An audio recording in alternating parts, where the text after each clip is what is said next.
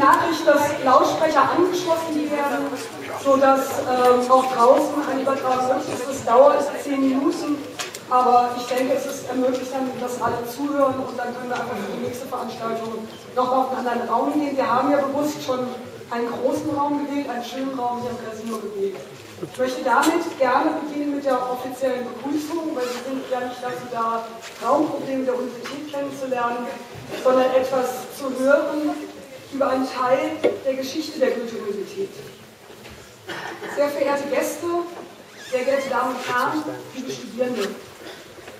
Wie Sie wissen, und das ist äh, ja ein Teil der Veranstaltungsserie, begeht die Goethe-Universität dieses Jahr ihren 100. Geburtstag.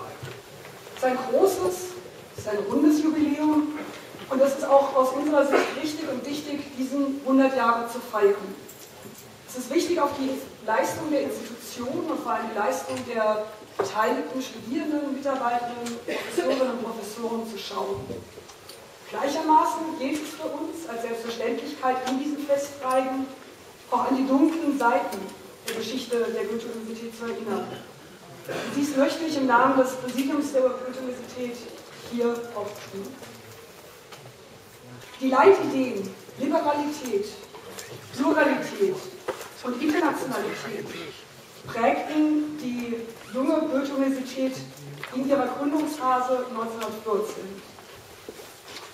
Gerade auch der Ausbruch des, Zweiten, des Ersten Weltkrieges und die Frage, wie man mit kriegerischer Gewalt umgeht, war immer auch ein Teil der, des universitären Alltags, des Selbstverständnisses als Bürgeruniversität in die Gesellschaft hinein, in die Stadtgesellschaft hinein wirken zu können. Gerade die Stifterfamilien jüdischer Herkunft legten Wert darauf, dass die maßgeblich von ihnen ins Leben gerufene Institution eine weltliche, eine säkularisierte und eine liberale Weltsicht vorantreiben sollten.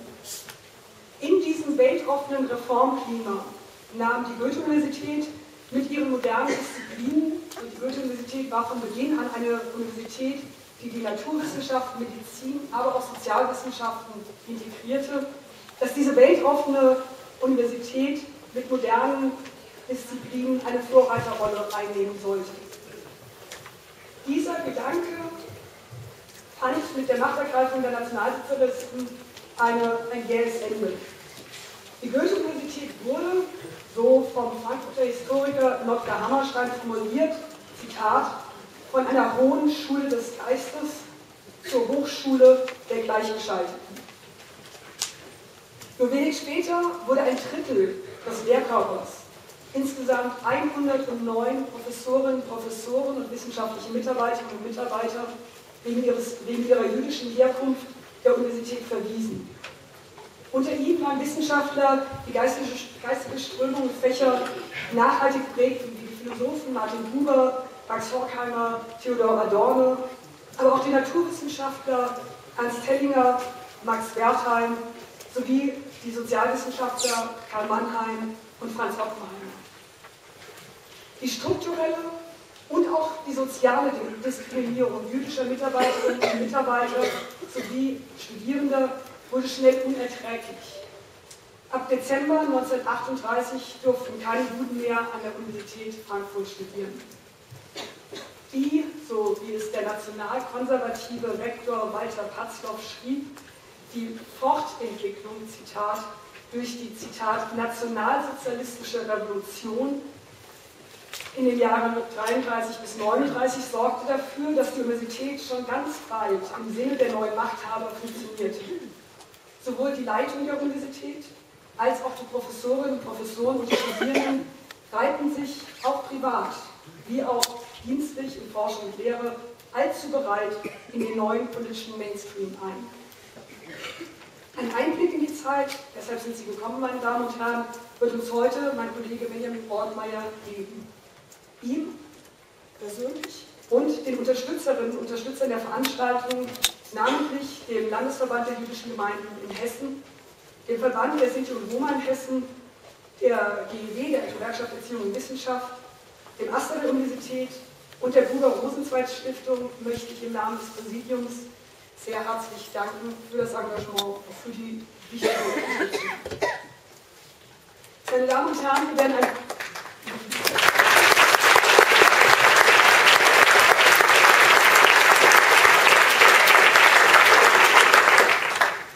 Meine Damen und Herren, der Vortrag, den wir hören werden, wird, so nehme ich an, in Teilen schwer erträglich sein. Denn wir werden die Geschichte und die Geschichte eines Mörders verfassen. Josef Mengele promovierte, nachdem er in München schon promoviert hat, 1937 an der Goethe-Universität an dem bereits 1935 gegründeten Institut für Erbbiologie und Rassenkunde der Medizinischen Fakultät dieser Universität.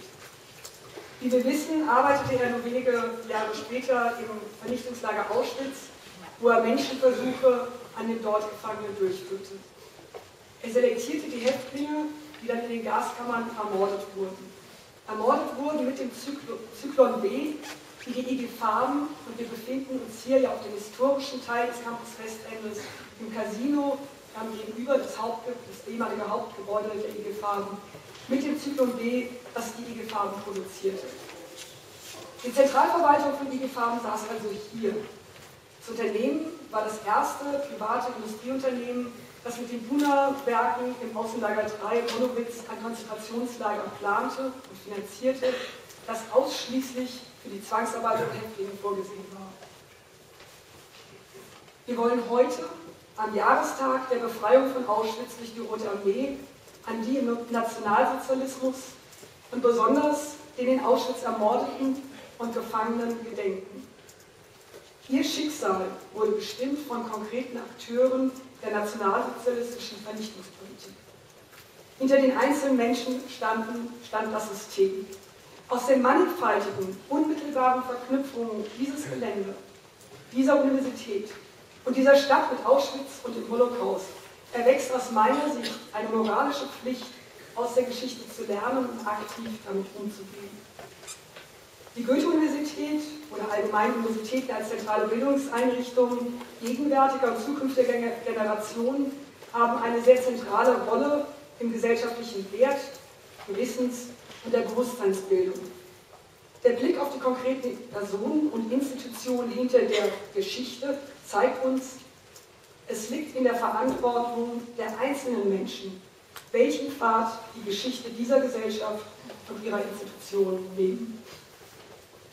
Aus der Beschäftigung mit der Geschichte der Goethe-Universität ergeht also gerade auch in ihrem 100. Jahr und mit Blick auf die Zukunft eine besondere Verantwortung, der ich als Teil des Präsidiums und das gesamte Präsidium der Goethe-Universität uns verpflichtet fühlen und auf die wir aufmerksam machen wollen. Vielen Dank, meine Damen und Herren.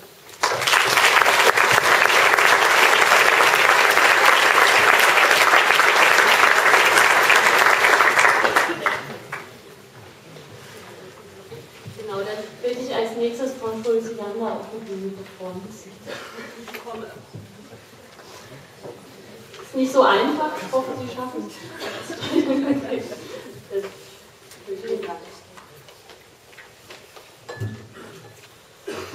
Sehr geehrte Vizepräsidentin, Professor Dr. Bröhl, äh, sehr geehrter Professor Ottmeier, sehr verehrte Damen und Herren, liebe Studierende. Vielen Dank, dass Sie mir die Gelegenheit geben, hier am 27. Januar, dem Holocaust-Gedenktag, ein Grußwort für die Buber-Rosenzweig-Stiftung zu sprechen. Und als Sie, Professor Ortmeier, mit der Bitte an uns herantraten, diese Veranstaltung zu unterstützen, waren wir sofort bereit dazu. Diese Veranstaltung hat nämlich etwas mit unserem Stiftungszweck zu tun, und darin heißt es die Erforschung der Geschichte des Judentums. Und das tun sie mit dieser Veranstaltung, indem sie zum 100-jährigen Bestehen der Universität Frankfurt auch an die schwarze Seite der Universitätsgeschichte erinnern.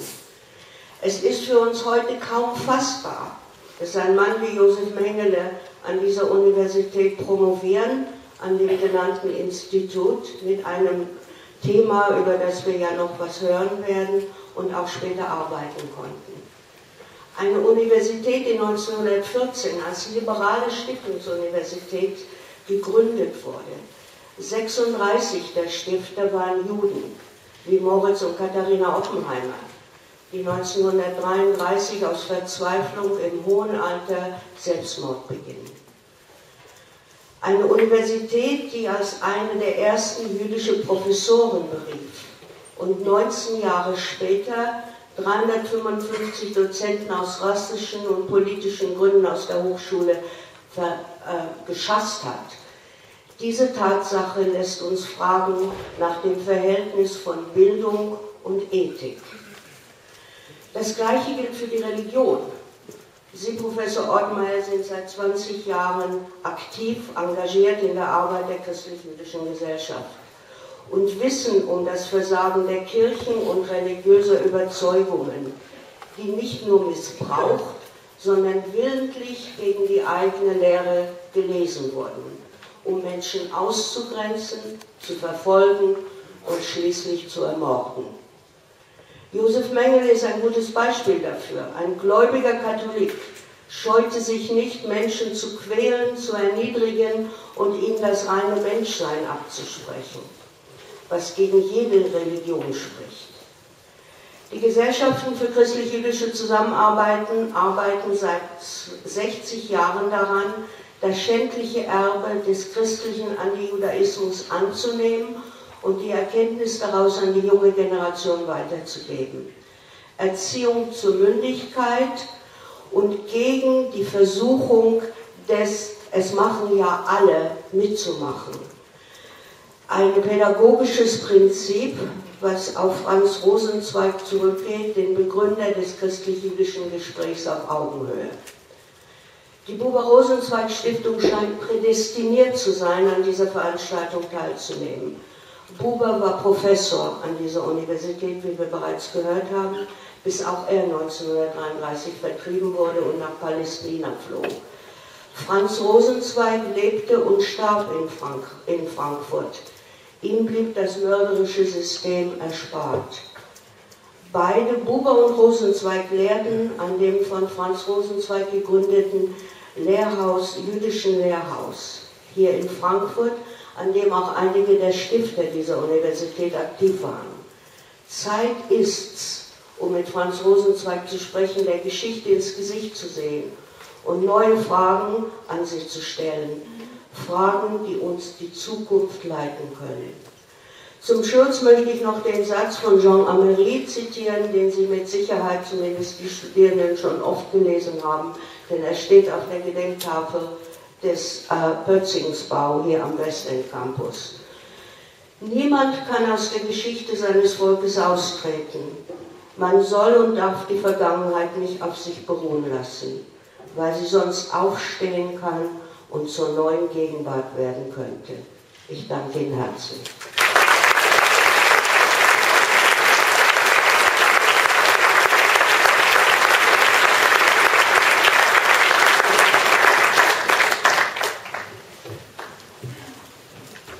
Beginne den Vortrag, Dr. Mengele und die Goethe-Universität. Wir haben hier ein Bild, was auf links und rechts steht, was ich so nicht stehen lassen kann. Stifter, Denker, Revolutionäre. 100 Jahre Goethe-Universität. Ich würde bitten, diese beiden Tafeln kurz umzudrehen, damit Sie die andere Seite der Goethe-Universität kennenlernen. Ist jetzt nicht braun, aber zumindest leer. Wir haben wirklich in der ganzen Konzeption eines Jubiläums, wo man sich freuen soll, gleichzeitig das Problem, das wird Ihnen nicht unbekannt sein, das geht in der ganzen deutschen Geschichte, wenn irgendeine Institution ein Jubiläum feiert, immer dasselbe Problem. Was war in diesen zwölf Jahren und vielleicht doch besser gefragt, was war die 20 Jahre danach? Wo sind die alle hin? Jedenfalls, das ist eine wichtige Aufgabe während dieses Jubiläumsjahrs die NS-Zeit und die Zeit von 45 bis mindestens 65 genauer unter die Lupe zu nehmen, mit Nachdenken, mit wissenschaftlichem Ernst. Das ist einfach nicht mathematisch zu lösen, 100 Jahre kontra 12 Jahre, sind doch 80 Jahre gegen 12. So denkt der Fliegenbeinzähler, wie Adorno gesagt hätte, also der Positivist, diese 12 Jahre zählen wesentlich und gehören zu dieser Geschichte dazu. Und deswegen bin ich natürlich froh, dass das Präsidium diese Veranstaltung hier mit unterstützt und diese ganze Reihe mit unterstützt. muss noch dazu sagen, wir machen auch eine Veranstaltung über die Speyer Stiftung, die insgesamt diese ganze Reihe mit unterstützt hat. Das möchte ich nochmal ausdrücklich sagen. Einer der frühen jüdischen Stiftungen, denen es nicht darum ging, Großkapital und Profit zu unterstützen, sondern Sozialwissenschaften und jüdische Professuren, Institut für Sozialforschung und ähnliches. Wir werden in weiteren Veranstaltungen darauf eingehen. Es geht eben nicht nur um die positive Seite. Mengele, seine Arbeit in Frankfurt ist eigentlich gut erforscht. Und trotzdem war in meinem Freundeskreis deutlich, dass sehr wenige Leute wussten, dass er hier in Frankfurt promoviert hat. Obwohl auch im Vorfeld natürlich über 100 Jahre mit Universität geredet wurde. Es gibt eine gute wissenschaftliche Arbeit von Professor Benzenhöfer, ich weiß nicht, ob er anwesend ist, der im Ärzteblatt dazu die Details schon noch einmal zusammengefasst hat, aber dennoch, ich wiederhole es im allgemeinen Bewusstsein, auch meiner Freundinnen und Freunde, kritischer Leute, wie auch Kolleginnen und Kollegen, Professoren, war nicht bekannt. Aus welchen Gründen kann man sich überlegen? Dass Mengele der bekannteste Mensch ist, der an dieser Goethe-Universität promoviert hat. Es gibt niemand Bekannteres auf der ganzen Welt. Diesen Artikel habe ich jetzt, da muss ich eine Besonderheit der PowerPoint-Präsentation, die ich hier mache, sagen. Ich flutsche da manchmal rüber, weil sie die alle eigentlich schriftlich auf ihrem Platz haben, zum Nachlesen zu Hause. Das geht nur darum, dass hier ich dokumentiere, dass dies schon einigermaßen erforscht ist, was wir heute hier hören und nicht meine Forschungsergebnisse. Vielleicht wäre es auch nett, wenn ein paar Leute, die hier drin sitzen und die PowerPoint sehen können, ein paar von denen, die auf ihren Stühlen lagen, nach draußen geben, damit die Leute auch eine Chance haben, mitzugucken. Einfach so ein paar draußen. Mengeles Biografie, wie soll es anders sein? Hier sehen Sie eine starke Verbindung. Vater schon früh in der NSDAP 31 war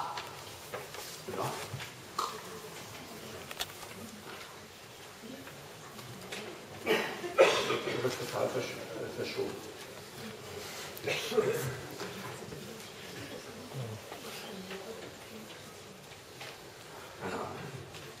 Kurz und gut, ich bearbeite eventuell mit der PDF, die ich noch habe, weiter, wenn das PowerPoint hier mit dem Beamer irgendein Problem hat. Kurze Daten bis zum Beginn seiner Mordarbeit in Auschwitz-Birkenau. Er war 1911 in Günzburg, einer Kleinstadt zwischen Ulm und Augsburg, geboren. Dort gibt es heute noch nach seinem Vater benannt, eines S-Bahn, die Karl-Mengele-Straße, wenn Sie die mal nachschlagen wollen.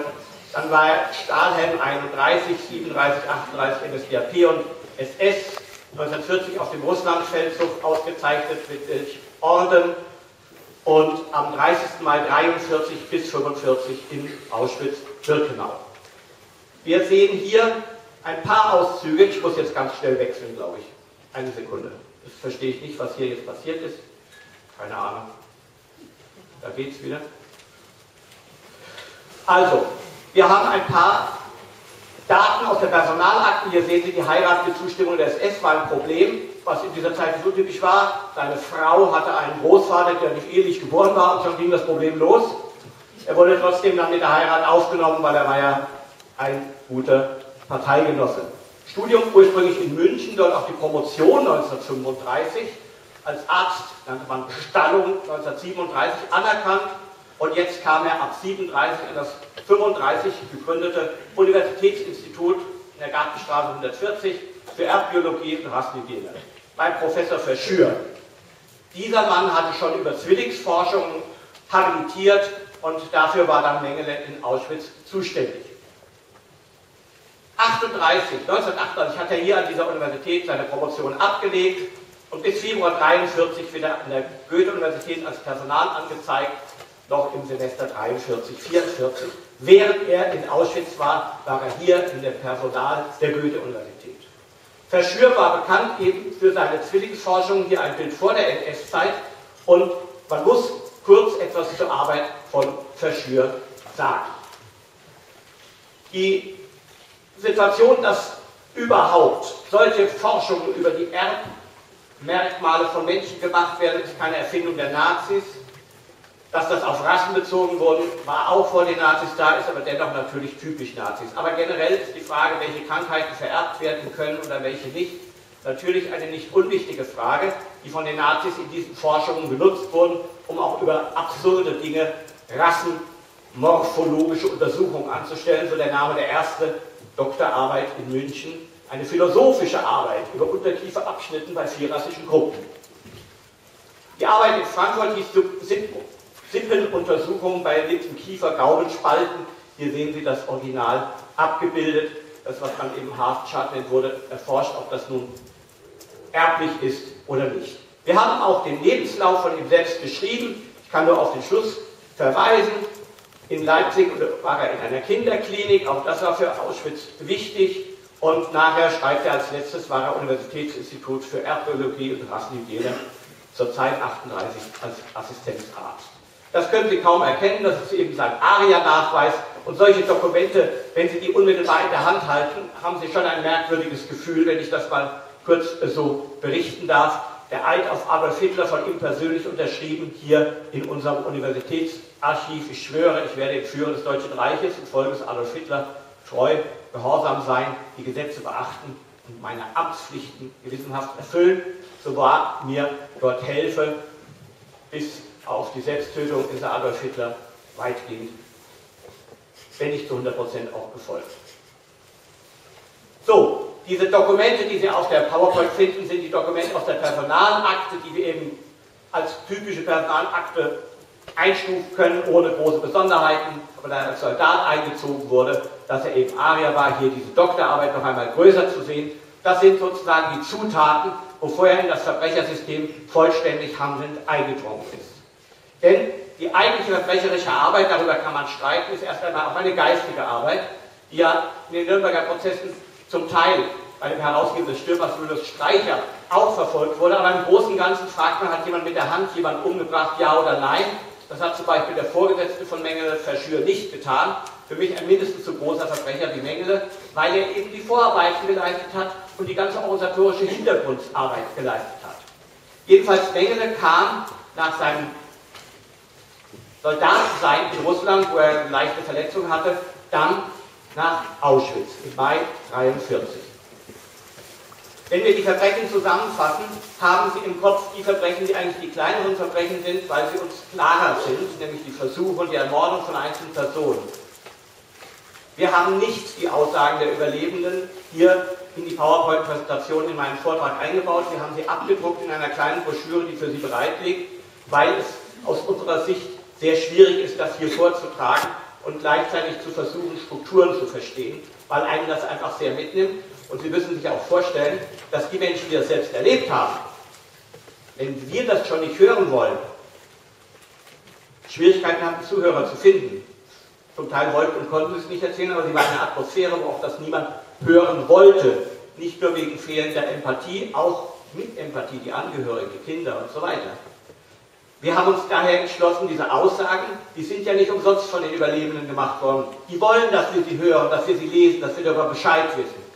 Ihnen in einer extra Broschüre zu präsentieren, um die Struktur dessen, was wir heute hier diskutieren, nicht zu sehr kaputt zu machen. Wenn wir auf Einzelschicksale eingehen, ist das eindringlich und emotional. Aber die Hauptmordaktion war die Selektion. Das Problem in Auschwitz war, dass immer nur eine bestimmte Zahl in dem Vernichtungslager Auschwitz-Birkenau anwesend sein durfte und die anderen wurden sofort mit Giftgas ermordet. Das war in den anderen großen Vernichtungslagern anders. In Treblinka, Sobibor, Belzec, Helmo wurden die Menschen sofort ohne große Selektion alle ermordet. Das war eben in Auschwitz etwas anders, in Majdanek auch und in Auschwitz-Birkenau war es eben Dr. Mengele, der innerhalb von Sekunden oder Minuten entschieden hat über Hunderte und Tausende von Menschenleben. Das uns in besonders drastische Erinnerung sind natürlich die Menschenexperimente an Zwillingskindern, an sogenannten Kleinwüchsigen, Medikamente getestet, Fleckfieber, Experimente mit Elektroschocks bis zum Tod, Sterilisationsverfahren erprobt mit Todesopfern, Infektion Noma erforscht, also eine Bangenkrebserkrankung, die besonders bei den Kindern vorkam, die unterernährt waren. Das sind die medizinischen Bereiche, die zu großen Teil von der Deutschen Forschungsgemeinschaft DFG mit hohen finanziellen Mitteln an Herrn Verschür finanziert wurden, der diese Mittel auch an Auschwitz weitergab, der eine hervorragende Ausrüstung zur äh, Selektion der Leichen in Auschwitz-Birkenau aufgebaut hat.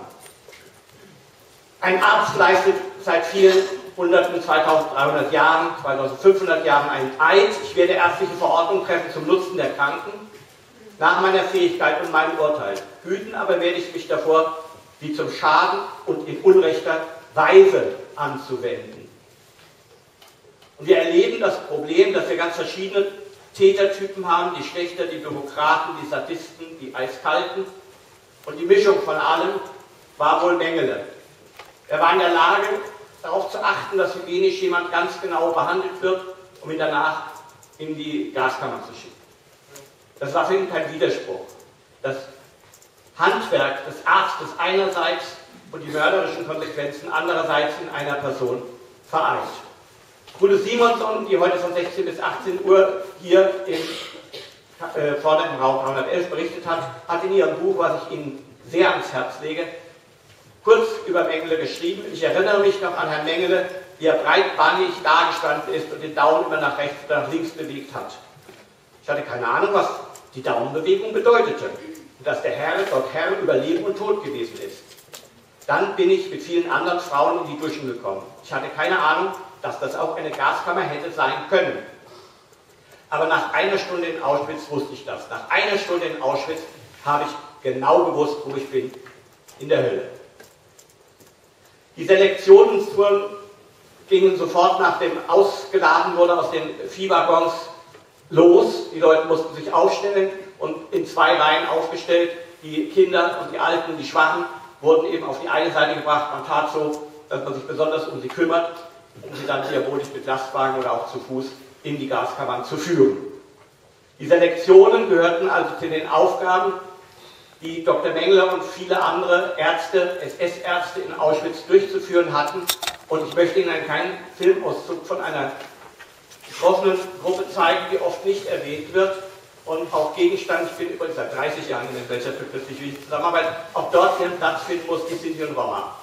Vor zehn Jahren, wir erinnern heute am Schluss der Veranstaltung an die beiden, ist Ricky Adler gestorben und Karl Wojcik von der Grenzkonferenz auch. Ricky Adler hat uns kurz berichtet über seine Ankunft in Auschwitz und wie er Mengele gesehen hat.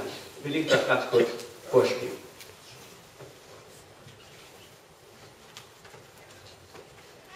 Die Soundqualität ist nicht gut, aber es ist untertitelt.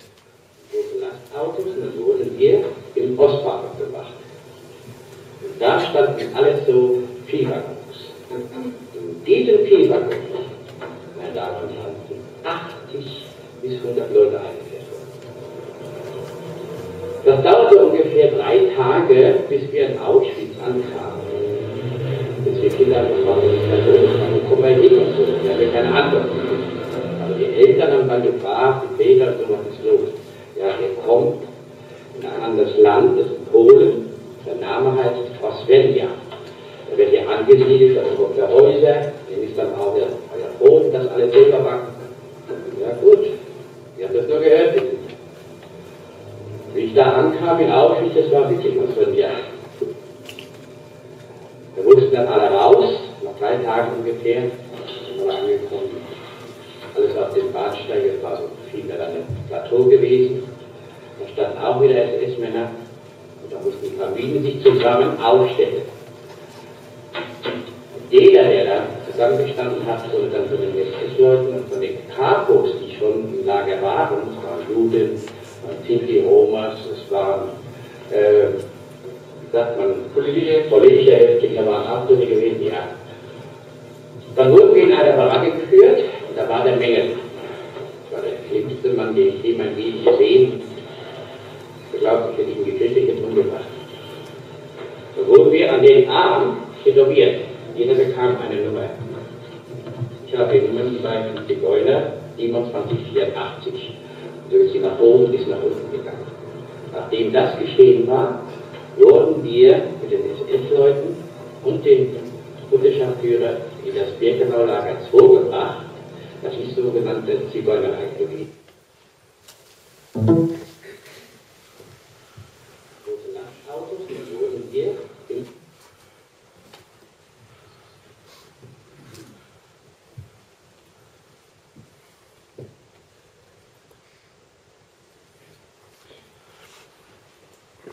Das war Ricky Adler. Heute werden wir die Veranstaltung machen am Gesundheitsamt in der Raubachstraße, wie jedes Jahr um 18.30 Uhr eine Kundgebung um an Mengele und Verschürz und an das Zigeunerlager, an die Liquidierung, die im August 44 stattfand, zu erinnern. an der Mengele wesentlich beteiligt war. Wir haben heute ein Problem, dass die Sinti und Roma in dieser verfolgten Diskussion und dieser Gruppe oft nicht wirklich bekannt sind oder noch en passant erwähnt werden. Und deswegen ist es mein besonderes Anliegen, darauf hinzuweisen, dass diese Arbeit hier in Frankfurt an diesem Erbbiologisch-Rassenhygienischen Institut eine besondere Schlagseite und eine besondere Verschärfung gegen die Sinti und Roma hatte. Das darf ich Ihnen noch kurz zeigen. Das Gebäude dieses Institutes, auf das ich kurz zurückkomme, hier in der Gartenstraße 140 gibt es heute so nicht mehr, war eben insbesondere auch für die Zwillingsforschung, aber eben auch mit 1000 Rassengutachten jedes Jahr, Vaterschaftsgutachten, beteiligt an der Zuordnung dem Verbot gegen, für die Sterilisierung von Sinti und Roma. Die Rechtslage damals war so, dass nur nach den Gesetzen für Eugenik 30, 1933, 34 Menschen aus gesundheitlichen Gründen sterilisiert werden konnten. Aber Verschür und Mengele waren der Meinung, dass Sinti und Roma per se schwachsinnig sind und deswegen, anders als das Erbgericht in Frankfurt das 35, 36 noch sah, sterilisiert werden sollen. Diese Fragen nach der Zuordnung zu einzelnen Personen, die mehr oder minder von Verdaumen schon damals für rassisch unwürdig und für rassisch würdig benannt wurden, galt auch Ehestandsdarlehen, die man nur bekam, wenn man eben als deutsch-arisch eingestuft wurde. Dieser Leitfaden der Rassenhygiene von Verschür, der 1946 wieder in Frankfurt eine Professur bekommen sollte, sie 51 in Münster bekommen hat, ist voll von Hetze gegen Juden, antisemitische Hetze und äh, Hetze gegen Sinti und Roma. Sie sehen, dass, ich will die Passage nicht ausführlich vorlesen, gegen Juden und Zigeuner automatisch in einem Atemzug schon hier eingegangen wurde und dass die fremdrassigen Einschläge natürlich vor allem von den Juden kamen, die eben die zehnfache Anzahl den Sinti und Roma hatten. Aber der NS-Staat wird schon zum vollständigen Ausscheiden führen. Die Judenfrage, so Verschür, hatte drei Teile. Man konnte sie eben aufsaugen, man konnte sie abschließen in Ghettos, man konnte sie auch sich emanzipieren lassen. Alles drei funktioniert nicht. Der NS-Staat muss eine vierte Lösung, von der wir heute wissen, anstreben. Natürlich, der Rassismus war schwierig, weil die Hautfarbe nicht als einziges Kriterium kam. Man brauchte ja den Judenstern nicht ganz umsonst. So war das ja nun nicht einfach. Und an der Blutgruppe konnte man ja nun Juden nicht erkennen, wie ein geschulter Mediziner wusste. Die, auch die Kombination von Blutgruppen war in Polen ähnlich wie in China. Man hatte also keine Chance, anhand medizinischer Unterlagen festzustellen, zu welcher Rasse jemand gehört. Und hier kamen dann die Psychologen oder eben Mediziner, die so taten, als könnten sie anhand verschiedener körperlicher Merkmale doch eine Zuordnung durchführen. Nun, eine Synthese, eine, wie auch heute noch üblich, oft üblich, eine Zigeunerin gesagt wird, obwohl das als Diskriminierung empfunden ist und meist nicht immer auch so gemeint ist, wollte nun also heiraten. Verschür legt sich mit dem Erbgesundheitsamt an, der Chef von Mengele, und schickt also einen wütenden Bericht, nachdem sie, weil das Gesetz eben noch kein Nürnberger Gesetz war, sondern die Gesetze für die Sterilisierung aufgrund medizinischer Gründe war, schickt er also einen Brief und betont, das ist alles Tarnung bei den Zigeunern. Das ist getarnter Schwachsinn. Die tut so, als wäre sie so schlau, ist aber in Wirklichkeit Schwachsinn. Und verweist auf einen später auch in Frankfurt im Gesundheitsamt noch 1945 tätigen Herrn Ritter, der in seinem Buch von einem getarnten Schwachsinn redet. Unter, den unter die Psychopathien sind diese Menschen auch nicht einzureichen. Es liegt vielmehr ein für die Gemeinschaft besonders gefährlicher Erbtypus vor, der ausgemerzt werden muss. Wir sind uns im Jahre 36. Dass Katharina Reinhardt zu den von Ritter in seinem Buch beschriebenen Erbtypen gehört, ergibt sich aus der siebten Tafel der Berliner Zigeunerarchiv einwandfrei. Was will ich damit sagen? Es waren nicht Mitläufer, es waren nicht normale Nazis, die sich in der Nazi-Staatsbürokratie an irgendwelche Vorschriften gehalten haben. Es waren extreme Scharfmacher, es waren extreme Rassisten, es waren extreme Verbrecher.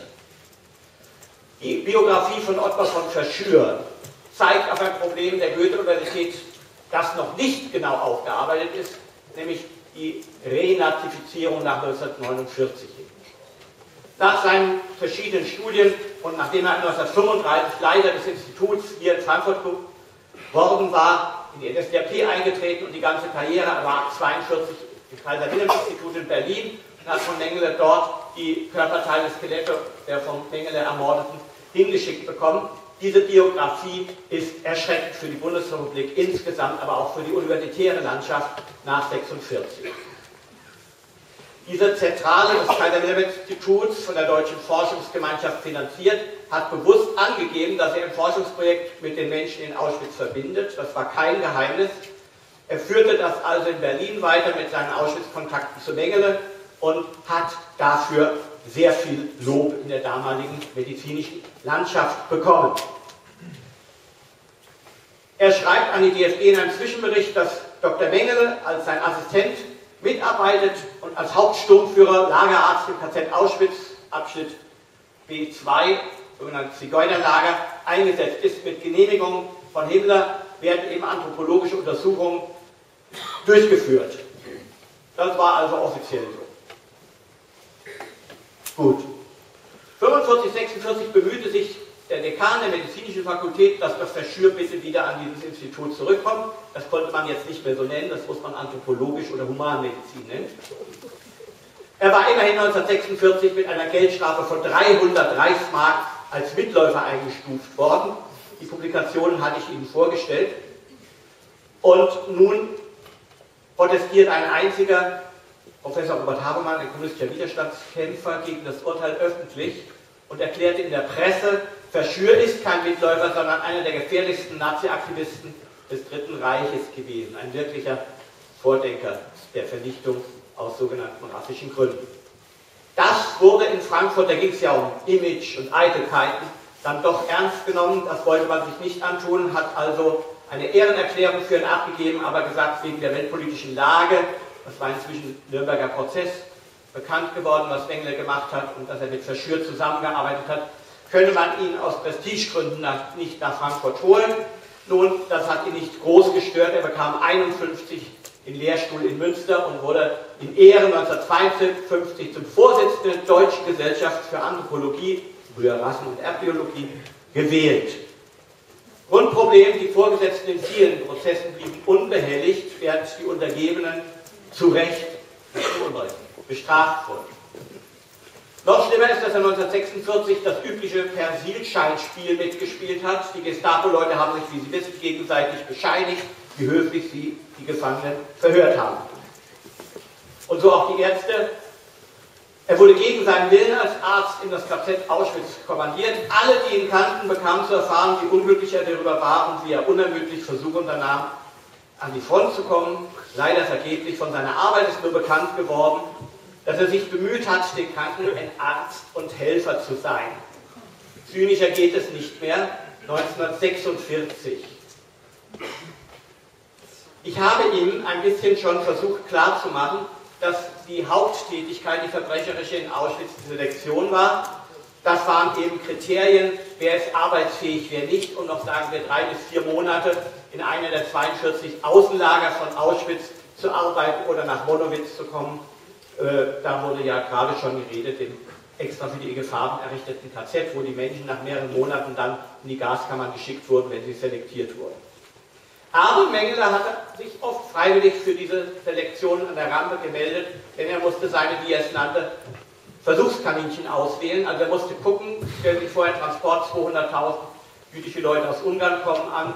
Nun können sie versuchen, möglichst viele Kinder, die Zwillinge sind, hier auszusortieren. Das heißt, er stand an der Rampe nicht nur über Leben und Tod, sondern um auch für seine Habilitation Material zu finden, denn er wollte habilitieren aus Auschwitz heraus mit dem Material, was er sich aus diesen großen Menschen, Menge von jüdischen Leuten, die ankamen, tagtäglich zu Tausenden, rauszusuchen. Gleichzeitig neben diesen Experimenten, die ich Ihnen eben nur sehr grob vorgestellt habe und die Sie genau in der extra Broschüre finden, war dieser ruhige Menge, der als souverän, Arien, pfeifend bei der Selektion dargestellt wurde, sehr ruhig sein Handwerk nachgeht, hat er trotzdem auch Wutausbrüche, Exzesse sind genügend beschrieben worden in der entsprechenden Literatur gegenüber Schwangeren und kleinen Kindern. Also alle Facetten der Brutalität gleichzeitig, während er den Bürokraten und den Arzt gleichzeitig markieren konnte. Doppelung nennt das die Psychologie. Einsatz von Menge, hier sehen Sie ein Luftfoto, rot eingekreist, ist eben dieses sogenannte Zigeunerlager bei B2E.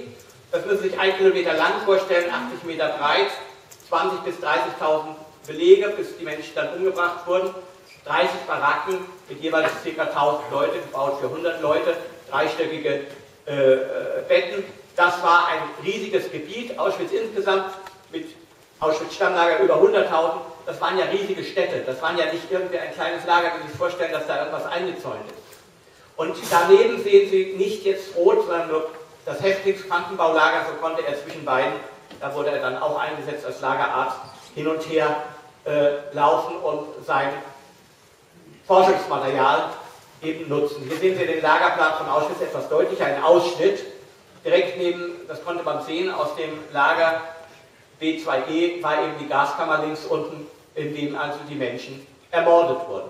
Diese Situation in Auschwitz-Birkenau als dem größten Vernichtungslager, auch in Treblinka, Sebedor, Chelmo und Belzec sind Millionen von Menschen ermordet worden, ist eben oft bekannter. Und hier sieht man eben auch das Zusammenspiel dass man erst die Leute inhaftiert, auswählt und dann nach der Selektion ermordet. Das letzte Verbrechen wollte ich Ihnen dann doch vorstellen, was Mengele gemacht hat. Er hat sich nämlich wirklich versucht, für seine Sinti-Oma-Kinder, die er Zigeunerkinder nannte, einzusetzen. Er wollte nicht, dass sie umgebracht werden. Die Rote Armee kam, man hörte den Kanonendonner und er wollte nicht, dass die Kinder umgebracht werden, denn das war sein Versuchsmaterial. Das war sein Motiv. Er hat zwei Tage lang versucht, die Ermordung dieser Kinder zu verhindern. Und als ihm das nicht genehmigt wurde, weil es absurd schien, hat er sie eigenständig, 14 Kinder, selber erschossen. Das ist einer der kleinen letzten Verbrechen von diesem Mann, über dessen Leben nach 1945 ich nun zu berichten habe. Auch nicht untypisch. Aus der Flucht am 17. Januar aus Auschwitz-Birkenau ist er in ein benachbartes oder weiter entferntes KZ, erst in Rosen, Großrosen, dann ins Ravensbrück, hat dort noch selektiert, um sich dann in einem Wehrmachtslazarett eine Wehrmachtsuniform zu besorgen, die SS-Uniform auszuziehen. Er hatte darauf geachtet, dass ihm nicht die SS-Blutgruppen-Tätowierung unter dem Arm, wie anderen, äh, eintätowiert wurde und konnte insofern als Wehrmachtsangehöriger erst einmal untertauchen, hat sich einen anderen Ausweis besorgt auf den Namen Fritz Hollmann, taucht in der Nähe von seiner Familie unter, wird von seiner Familie ernährt, versorgt, hat drei Jahre in einem Bauernhof als Knecht gearbeitet und in Kontakt mit dem nun wieder aufgebauten Netzwerk der untergetauchten Nazis die sogenannten Linien aufgenommen, die zum Teil auch von Kräften aus dem Vatikan, Roten Kreuz und anderen Hilfsorganisationen massiv unterstützt wurden. Er war klug, er hat 1949 gleich einen, einen Notar in seiner Günzburger Heimat gefunden. Der, dem hat er überschrieben, dass er aufs Erbe verzichtet, denn er hatte Angst, dass die von ihm verstümmelten Menschen Reparationen von ihm verlangen, Wiedergutmachung, und da wollte er dann doch, dass seine Frau das Geld bekommt und er, und er hat also so weit gedacht, dass er hier schon seinen Notar eingestellt hat. Er hat es geschafft, dann mit diesen Rattenlinien, wie es in der Sprache derjenigen, die die NS-Täter verfolgt haben, dann hieß, er hat es geschafft, seine Flucht nach Argentinien durchzuführen über das abenteuerliche eigene Krimi für sich, über Genua. Das Schweizer Konsulat hat ihm dann einen Rotkreuzpass ausgestellt, mit dem konnte er in Argentinien dann einen richtigen Reisepass besorgen, denn er hatte ein Problem, er wollte sich von seiner Frau Irene scheiden lassen, die von ihm hatte einen neuen Menschen getroffen. Und 1953 hatte Buenos Aires offiziell, da sehen Sie die Unterschrift Josef Mengele, den Frankfurter Anwalt Steinacker hier in der Savigny-Straße, in der jüdischen Gemeinde, beauftragt, das war der Kontaktpunkt für ihn, für Mengele, diese Scheidung doch in Düsseldorf durchzuführen. Er flog sogar unter falschem Namen zuerst mal nach Genf, hatte einen Urlaub in Schweiz, wo er seine zukünftige Frau, die Schwägerin, also die Frau seines Bruders, der verstorben war, hat er später geheiratet, getroffen hat. Und er fuhr sogar mit diesem falschen Pass erst einmal nach Deutschland. Jedenfalls, das Problem mit der Scheidung war gelöst. Er kehrte zurück nach Argentinien, baute in Kontakt mit seinem Vater, mit der Firma Mengele und Söhne, wurde extra auf den Sohn so genannt von diesem Vater, äh, begann also Geschäfte zu machen und die landwirtschaftlichen Maschinen zu importieren nach Argentinien. und geht auf die deutsche Botschaft und sagt, hier, es war ein Problem, ich hatte irgendwie nach dem Krieg irgendwie falsche Papiere, aber ich habe jetzt meine Geburtsurkunde, ich bin der Herr Mengele, könnten Sie mir bitte einen Pass auf meinen richtigen Namen ausstellen? Der Botschafter kein Problem, ich war schon bei Ribbentrop in Außen, habe mit den kroatischen Ustascha-Faschisten zusammen äh, gearbeitet, wir besorgen Ihnen den Pass. Ich fasse das in meinen Worten zügig zusammen, es wird etwas anders gewesen sein, aber der Struktur nach war es so. Jedenfalls die Bundesrepublik Deutschland hat den, auf den internationalen Kriegsverbrecher gesuchten Dr. Mengele einen richtig offiziellen Pass ausgestellt, denn er stand ja nicht auf der internen Suchliste, er war ja kein kleiner Krimineller, der gesucht wurde und Interpol war weitgehend in, die, in der Hand eines französischen Nazi-Kollaborateurs, der damals nun auch nicht gerade auf der Suche nach Nazi-Verbrechern, es gab ja nicht nur Mengele, hilf, nicht hilfreich war.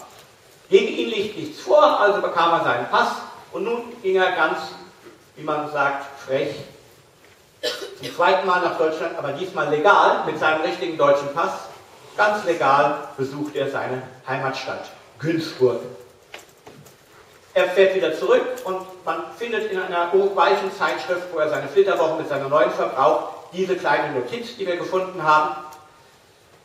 Josef Mengele und Martha Maria Will, das sind drei Vornamen, haben geheiratet, das war also offiziell bekannt, wenn es eine Interpol gegeben hätte. Und er war auch so gnädig, seiner Frau zu erlauben, sich in dieses Buenos Aires, Aires Telefonbuch eintragen zu lassen. Seine Frau mit dem dritten Vornamen Mengele Will. Im Google Map können Sie das Haus finden. Im Vorort von Buenos Aires eine kleine schöne Villa. Und das war offiziell für jedermann innerhalb von fünf Sekunden in einem Telefonbuch zu finden. 1958 bekam Hermann Langbein, der für Frankfurt eine wichtige Rolle gespielt hat, auch als Mitkämpfer mit Fritz Bauer für den Auschwitz-Prozess, eine Strafanzeige gestellt gegen Mengele und die wurde erstmal abgelehnt. Der ging zum Staatsanwalt. Mengele war nicht so bekannt bei den Staatsanwälten wie bei den Überlebenden von Auschwitz. Wo hatten wir als letztes gewohnt? Da sagte Herr Langbein, das weiß ich nicht. Kann ich Ihre Anzeige nicht entgegennehmen. Hatte Mengele in die Akte hin, geschmissen ist, weggegangen, hat recherchiert, hat rausbekommen, dass der letzte Urlaub von Auschwitz in Freiburg war. Und der Freiburger Staatsanwalt hat dann tatsächlich die erste die Anzeige angenommen und den ersten Haftbefehl ausgestellt. Am 5. Juni 1959. Nun kommt die Frankfurter Goethe-Universität wieder mitten ins Spiel. Denn Langbein hat gesagt, wie gibt es das, dass dieser Verbrecher noch den Doktortitel hat? hat eine Korrespondenz angefangen, wurde erstmal abgefertigt von der Goethe-Universität. Wir dürfen nicht sagen Personalschutz, also Täterschutz, Personalaktenschutz. Hat aber dann ein Verfahren selber eingeleitet und 61 ihm den Titel aberkannt. Und es muss Dr. Mengele in Buenos Aires tief getroffen haben, denn er beauftragt seine Frau Martha, die inzwischen aus Lateinamerika in die Schweiz zurückgegangen war, wurde momentan doch intensiver nach Mengele gefahndet. Er switchte zwischen Paraguay, Argentinien und dann vor allen Dingen Brasilien hin und her. Paraguay hat er die Staatsbürgerschaft erworben, weil die nicht auslieferten. Jedenfalls hat er den Frankfurter Anwalt Steinacker, der ihm schon bei der Scheidung geholfen hat, berühmt berüchtigter Anwalt, auch nach einem Auschwitz-Prozess und späteren Prozessen gegen SS-Ärzte, beauftragt, gegen die Goethe-Universität zu klagen, was dieser Mann auch in drei Instanzen getan hat. Bis 1964 gibt es also aus dem Exil von Mengeles Anwalt einen juristischen Streit mit der Goethe-Universität, den Mengele dann verloren hat. Tatsächlich wurde ihm 1964, das ist eine gemeinsame Erklärung von der Münchner und der Frankfurter Universität, der Doktortitel aberkannt. Als unwürdig. Es gibt viele andere, wie Verschüler, da haben wir noch was zu tun, liebe Anwesende. Denen der Professorentitel oder der Doktortitel oder ähnliches dringend aberkannt werden müssen.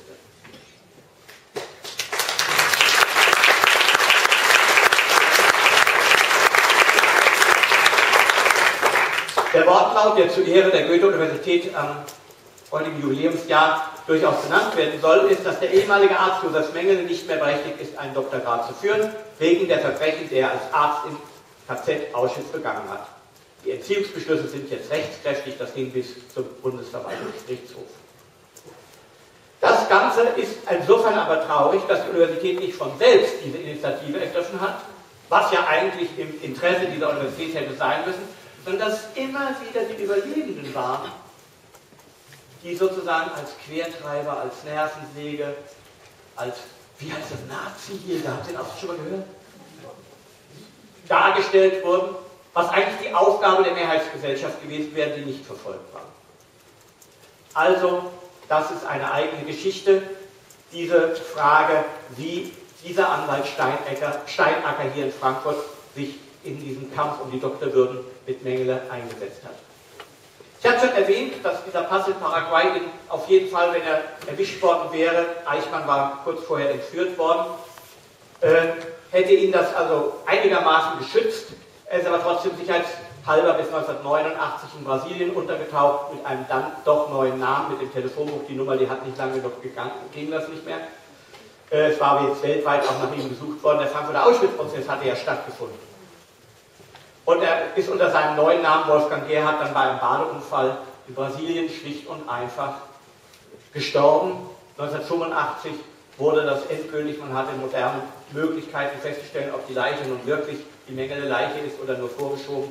Es ist allgemein klar, 1982 wurde es bekannt gegeben, dass seine Leiche wirklich die Leiche von Dr. Mengele ist und so wurde das Strafverfahren dann 1985 eingestellt gibt jetzt Nachfragen und Diskussionsmöglichkeiten. Doch bevor ich das eröffne, ist mir noch wichtig, auf Frau Dr. Keller hinzuweisen, wo ich nicht weiß, wo die sitzt. Da sitzt sie, die diese Arbeit hier in der Forschungsstelle mitgemacht hat, und Katha Rhein, die bei äh, mir promoviert über das, was man, was haben die Leute im Kopf so nennt, also kollektives Gedächtnis. Hier auch an der Universität Umfrage unter Studierenden der Pädagogik.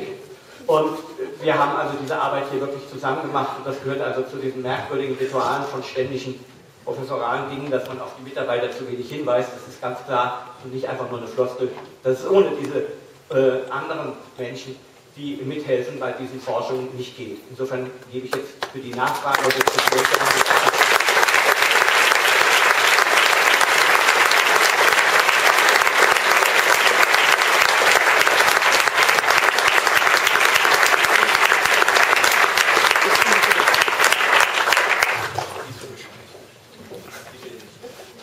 heute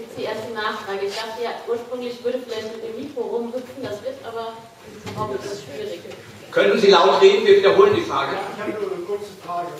Warum wurde Eichmann gefasst und warum Mengele nicht?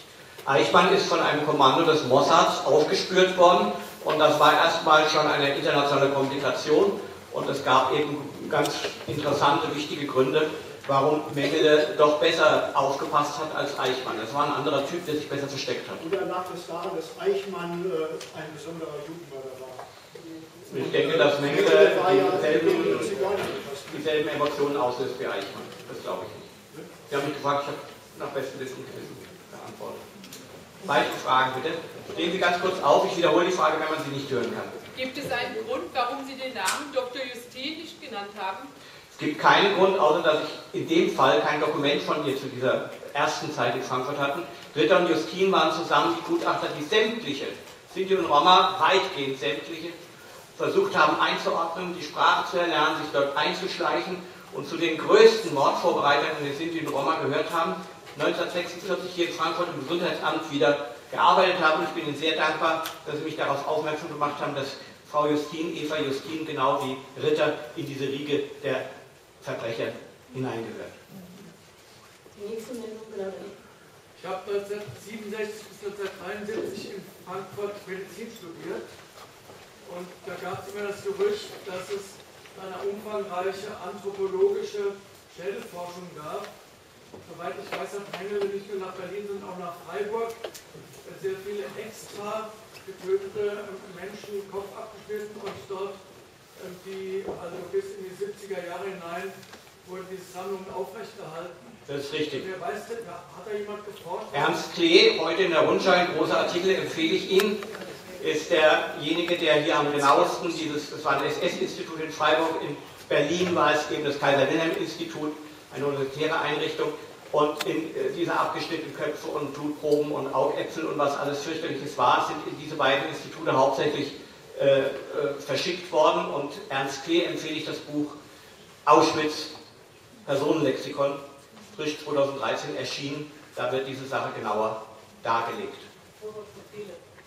Vorwort von Lektor Kehle. Herausgeber der Schwarzen Reihe, heute anwesend zu meinen Ehren. Ich glaube nicht, dass in Frankfurt die Schädel aufbewahrt sind. Ich habe darüber keine Hinweise, sondern in Freiburg und Berlin.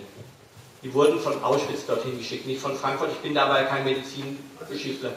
ging ja nicht über den Mengele, sondern jemand anders, aber es gab diese Schädel.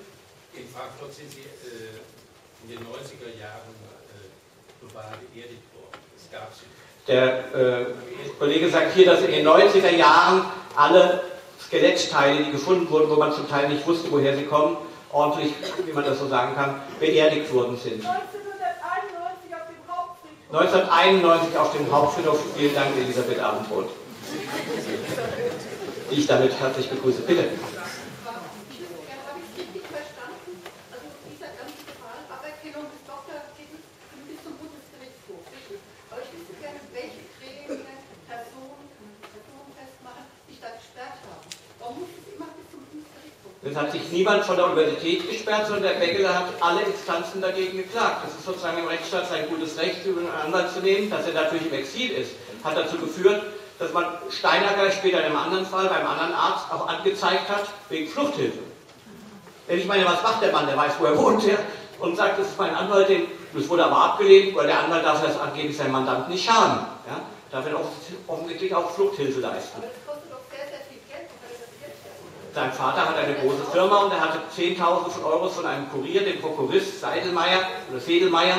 Der flog ab und zu nach Argentinien mit so einem Köfferchen von Geld und hat ihn versorgt. Außerdem hat er gute Geschäfte mit den landwirtschaftlichen Maschinen seines Vaters, die nach Argentinien importiert wurden, gemacht. Also arm war der nicht. Es gibt eine Meldung hier hinten. Äh, zwei kurze Fragen. In Ihrem äh, Redemanuskript äh, gehen Sie noch Professor Ballreich ein. Sie Kommt jetzt. Ah, okay. Nächster Abschnitt. Und äh, dann noch, äh, wie würden Sie von dem Hintergrund von Ihrem Vortrag äh, die Stellung vom, Au äh, vom Ausschussgedenktag generell im bundesrepublikanischen Gedenken einordnen? Der scheint ja, würde ich jetzt auch noch äh, sehr marginalisiert zu sein. Kommt auch noch im dritten Teil. Okay. Da ist eine Frage. Es wurde darüber gesprochen, dass er der Doktortitel aberkannt Ja. wurde. Ähm, durfte er denn als Arzt noch praktizieren? Ja. Er hat, Ich meine, das ist weit also er war in, in Südamerika, hat dort keine Arztpraxis aufgemacht, sondern hat als Industrieller gearbeitet. Ich meine, rein rechtlich gesehen. Das wäre nicht möglich, wenn der Doktortitel aberkannt wurde, ist ihm ja faktisch die Möglichkeit genommen. Okay.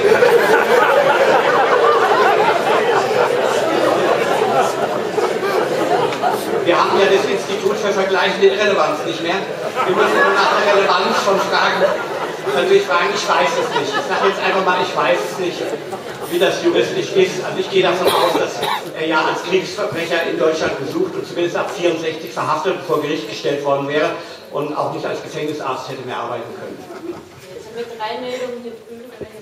Eigentlich nur ganz kurz. Vielen Dank für Ihren Vortrag. Sie gehen auf die ganze Aberkennung des äh, Doktortitels ein. Warum wurde in allen öffentlichen Bekanntmachungen Ihr Manuskript noch als Doktormenge bezeichnet? Das ist einfach und klar. Er hat gefragt, warum auch ich jetzt immer von Doktormenge spreche, der ist doch aberkannt, der Titel. Wir haben einen historischen Blick auf die Sache und es ist wichtig zu verstehen, dass ein Arzt mit seinem Titel und ein Professor mit seinem Titel, das ist wichtig für Studierende, zu verstehen, dass dieser sogenannte Halbgott in Weiß, dass diese Professoren zu Verbrechern werden können. Und von daher ist es richtig, dass Sie mich auf das Problem hinweisen. Ich versuche ja auf die Aberkennung zu gehen. Sie werden merken, nachher rede ich nur noch von Mängel. Aber historisch ist es so, dass es wichtig ist zu verstehen, dass er Arzt war und Wissenschaftler und dieser Professor Verschür auch. Weil dann versteht man das besser. Das waren nicht irgendwelche besoffenen SA-Leute, die mit der Bierflasche einen erschlagen haben. Das waren hochprofessionelle Killer. Jetzt gab es hier. Aber danke für die Frage. Ähm, Ja, jetzt gab es hier zwei Meldungen. Einmal. Also äh, ich, ich habe gelesen, dass amerikanische medizinische Firmen oder äh, äh, pharmazeutische Firmen von den Experimenten in äh, den Konzentrationslagern ganz allgemein, äh, also diese äh, äh, Ergebnisse, dass sie dann nach dem Krieg Sulfinamide, ja. ja, ja. Ist das irgendwie mit Mendes Arbeit, weiß man, ob das sehr wahrscheinlich, man hat eben äh, so- also Antibiotika, Sulfonamid, ich bin auch kein Mediziner, äh, äh, recherchiert und Proben auch an Häftlingen, die nicht ermordet sind, im großen Umfang gemacht, weil Fleckfieber sehr häufig war und wie im Einzelnen dann diese nachher patentierten Medikamente auf diese Forschung zurückgegriffen haben, ist sehr schwer nachzuvollziehen. Das sind mehrere Wortmeldungen, glaube ich, direkt dazu, aber der Reihe nach wohl. Also eine Meldung war auch noch in der Fensterreihe, ja? das würde jetzt Okay, dann erstmal äh, genau, zwei Meldungen hin. Die meisten Sulfonamid-Untersuchungen sind im Frauenkazett Ravensbrück gemacht worden. Ja. Der Anlass war das Attentat auf Heidrich. Da musste der Arzt, der Heidrich versorgt hat, Heidrich war ja nach 14 Tagen gestorben und fiel bei Hitler in Ungnade. Und der Leibarzt Hitlers Morell hat gesagt, mein Sulfonamid hätte da geholfen, Ultraseptyn. Und deshalb hat er diese Sulfonamid-Versuche an den jungen polnischen Studentinnen und Schülerinnen durchgeführt. Und dazu muss man sagen, es gab überhaupt keine Veranlassung, Sulfonamid einzusetzen. Und vor allem war die Gasbrand keine Diskussion. Heinrich ist nachweislich nicht an einem Gasbrand gestorben, man hat die, den Obduktionsbericht hat man schlichtweg gefälscht. Und das war die Veranlassung für diese Gasbrandversuche in Ravensburg. Vielen Dank. Mengele war doch nicht der einzige Täter, der ist herausragende Täter. Kann man das in einem Satz mal erwähnen? Die, äh, die Schuldhaftigkeit der äh, übrigen Ärzte, die auch an Rampen tätig waren, das waren Jahrhunderte. Und ja. vielleicht auch die Rolle der Ärztevereinigung im nationalsozialistischen Deutschland. Nur, nur am Rande. Sie haben das getan, ich unterstütze das, ich bin Ihrer Meinung und äh, selbstverständlich geht das bis in die Hilfsschulen runter. Die Auswahl der Kinder, die äh, sterilisiert und später ermordet wurden, begann in den Hilfsschulen. Man unterschied, ich bin ja Erziehungswissenschaftler und kein Mediziner und kein Jurist, man unterschied die brauchbaren und unbrauchbaren Hilfsschulkinder und da geht es los. Dann haben die Lehrerinnen und Lehrer die Kinder zum Arzt geschickt, die haben ihre Feststellung gemacht, zunächst Sterilisation und später waren es die Unterlagen für die 70 zunächst im Deutschen Reich äh, mit oft auch Giftgas oder äh,